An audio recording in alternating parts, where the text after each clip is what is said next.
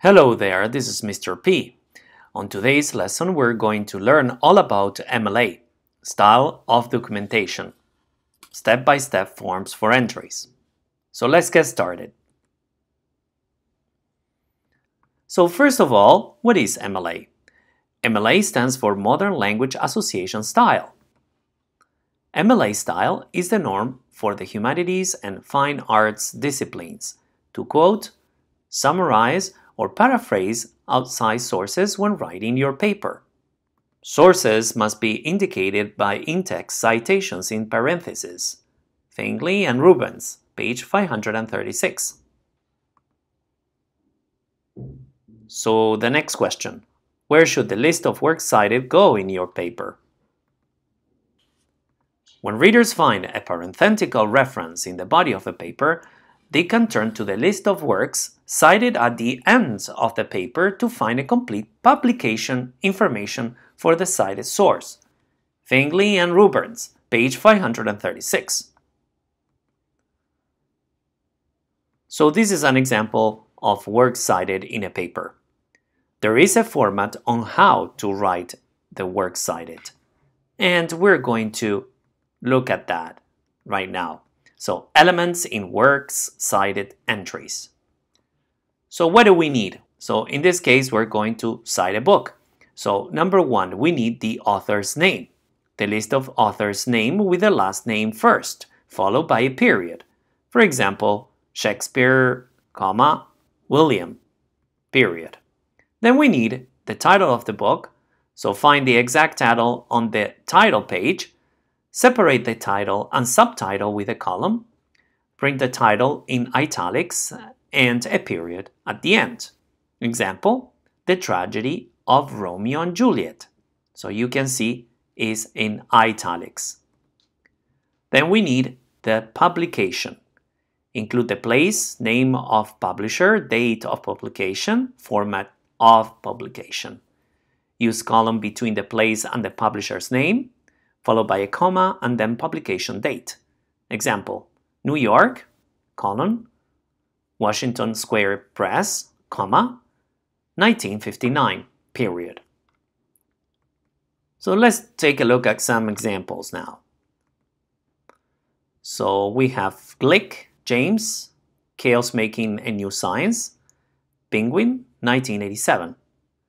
Henley Patricia, The Hummingbird House, MacMurray, 1999. Gillespie Paula and Neil Lerner, The Allyn and Bacon Guide to Peer Tutoring. Allyn and Bacon, 2000.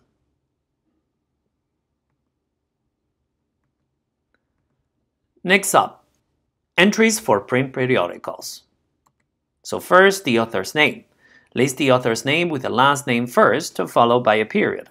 Swearingen um, C. Jan. Next, title of article. Place the title of the article inside quotation marks. Insert a period before the closing quotation mark. So example, feminisms and composition in quotation marks and then a period. So number three, publication. Underline or italicize the title of the journal. Add volume, number, and issue number separated by a period. List the date of publication in parentheses followed by a column. List the page numbers followed by a period. Include the format of publication. Example, College Composition and Communication, 53.3 2006, 543-51. Print. Don't forget the colon and the period let's look at examples of entries for print periodicals. Poniewozik James TV makes a too close call time 20th of November 2000 pages 70 to 71. Bachman Dana a Special Education Good Housekeeping March 2006 pages 143 to 148. Entries for electronic sources. So first we need the author's name. The list of the author's name with the last name first, followed by a period. Number two, title of document and or website.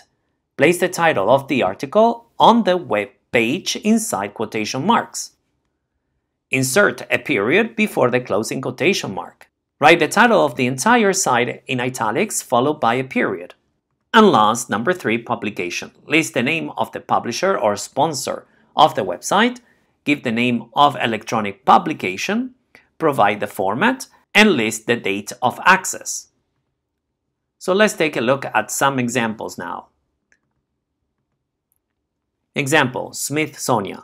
Biting the hand that doesn't feed me, internships for college credit are a scam. Slate, WPNI, 8th of June 2006, Web, 24th of July 2006.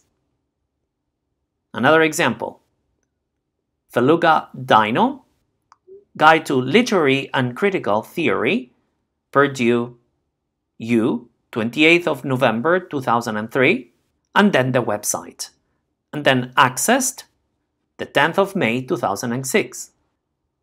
So now let's recap, right? Yes. So what do we need first? We need the author's or editor's name. Number two, we need the book, journal, document, or website title. And number three, the publication information. That's all we need to quote a book, a document, a journal, or a website.